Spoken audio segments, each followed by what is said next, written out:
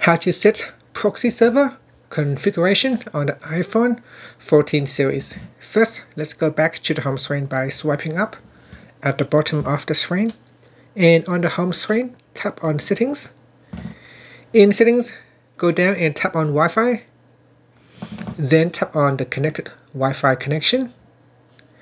Next, we swipe up to go down and tap on configure proxy now there are two options. You can use the manual method or the automatic method depending on how your administrator give you the details.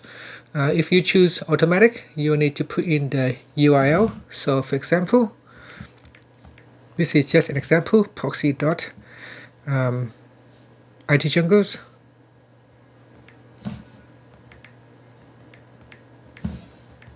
dot com and then the port number 8080 so that this is one of the example to set an automatic proxy.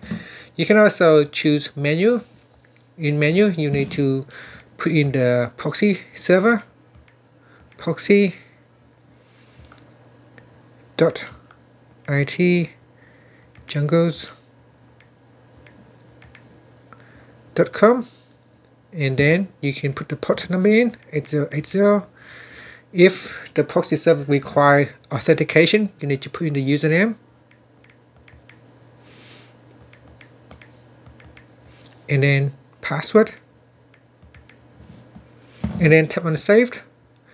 And that's it. So that is how you can configure the proxy server settings on your iPhone 14 series and this is quite useful when you are connecting to say a university server where it requires uh, you to use a proxy server then you need to fill in the proxy server settings in here. And that's it. Finally you can swipe up to go back to the home screen.